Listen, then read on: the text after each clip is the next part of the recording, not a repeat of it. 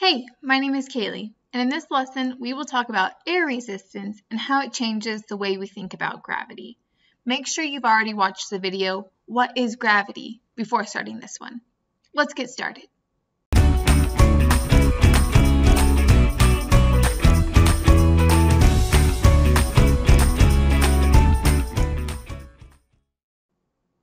You may have heard of the scientist named Galileo. He lived a really long time ago, but is famous for a lot of discoveries. We're going to start our lesson with a little story about Galileo. Galileo is from a country called Italy, and Italy is famous for a lot of things, like pizza meatballs. But it's also the home of a special building called the Leaning Tower of Pisa. It's called the Leaning Tower of Pisa because, well, it's leaning. But we aren't going to talk about the physics of how a tower leans today. But you can think about that in terms of some of Newton's laws.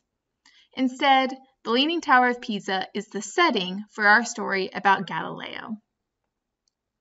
You see, Galileo went up to the top of the Leaning Tower of Pisa with a big cart full of things with different masses, like a cannonball, and a musket ball, and a brick, and a block of wood and then from the top of the Leaning Tower of Pisa he dropped them in pairs, like the cannon ball and the musket ball, which are both round, but one is large and heavy and one is small and light, and he dropped them at the same time. What Galileo found was that the cannon ball and the musket ball hit the ground at the same time. And the same thing happened with the brick and the block of wood. Even though the brick has more mass than the block of wood, they both hit the ground at the same time. And this is how Galileo was able to prove that gravity affects objects the same way, regardless of the object's mass. Heavy and light objects hit the ground at the same time when they are dropped from the same height. Now let's test Galileo's theory at home. For this experiment, you will need two envelopes and two sheets of paper. Now you're going to fold both sheets of paper into thirds or fourths, whichever way fits into your envelope. And you're going to stick both sheets of paper into one envelope. So now you will have one empty envelope and one envelope with two folded sheets of paper in it. Go ahead and seal them shut when you're ready. You can pause the video here to prepare your materials.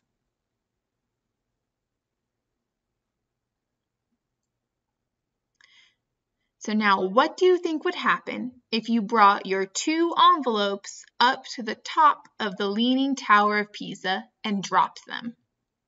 Which envelope will hit the ground first? Find a piece of paper and jot down your hypothesis or prediction. We can make our own Leaning Tower of Pisa. Ask an adult for supervision and stand on a step stool or a really stable chair. Then hold the envelopes at eye level so the flap is facing the ceiling. Make sure they are level. And then you're going to drop the envelopes. Go ahead and pause the video here to try out your experiment. Welcome back. Well, what happened? Was your prediction correct? You should have found just what Galileo found. Just like the cannonball and the musket ball, objects of different masses fall to the earth at the same speed. Now, figure out which one of your envelopes is the empty one, and you're going to crinkle it up into a paper ball. So now you'll have one paper ball envelope and one envelope with two pieces of paper that's still nice and flat. Even though one envelope is in a crinkled up ball, the envelope with paper in it still has more mass. Now we're going to take our new materials to the Leaning Tower of Pisa. Which one do you think will hit the ground first this time? Jot down your hypothesis. Now get back up on your chair and make sure your new materials are at the same height so they have the same distance to fall. That means the bottle of the bottom of the crinkled up ball will be at the same level as the bottom of the envelope or the flat part of the envelope. Go ahead and pause the video here and run your experiment.